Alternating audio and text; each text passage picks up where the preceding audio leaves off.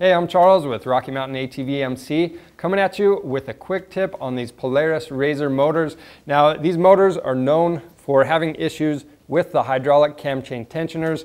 What happened with ours, our tensioner failed. This is the OEM part, and we actually had the exhaust camshaft skip a couple of teeth. Now this can be really dangerous. It can damage your engine and lead to a catastrophic failure, or your engine just might not run at all. So you wanna take care of this, and as a preventative measure, you can install the Tusk automatic cam chain tensioner. Now, this thing is gonna, once it's released, it stays out there, it doesn't retract, and it keeps tension on that chain. If you want to know more information about this, click the link below and subscribe to our YouTube channel for more helpful content. Thanks for watching.